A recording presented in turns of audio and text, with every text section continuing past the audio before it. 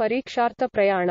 ರಾಜ್ಯ ವಿಧಾನಸಭಾ ಚುನಾವಣೆ ಸಮೀಪಿಸುತ್ತಿದ್ದಂತೆ ಪ್ರಮುಖ ರಾಜಕೀಯ ಪಕ್ಷಗಳು ಭಾರೀ ಸಿದ್ಧತೆ ನಡೆಸಿದ್ದು, ಚುನಾವಣಾ ಪ್ರಚಾರಕ್ಕಾಗಿ ಸಿದ್ಧಪಡಿಸಿರುವ ವಿಶೇಷ ವಾಹನದಲ್ಲಿ ಕೈ ನಾಯಕ ಸಿದ್ದರಾಮಯ್ಯ ಅವರು ಪರೀಕ್ಷಾರ್ಥ ಪ್ರಯಾಣ ನಡೆಸಿದರು.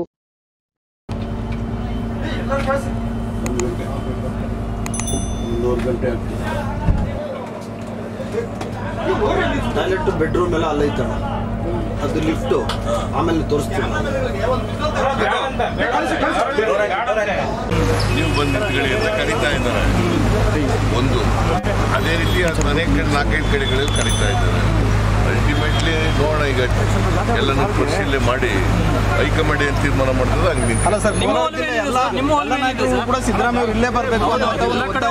ಎಲ್ಲ ಬಾದಾಮಿನಲ್ಲಿದೆ ಅದೇ ರೀತಿ ವರುಣಾದಲ್ಲಿದೆ ಅದೇ ರೀತಿ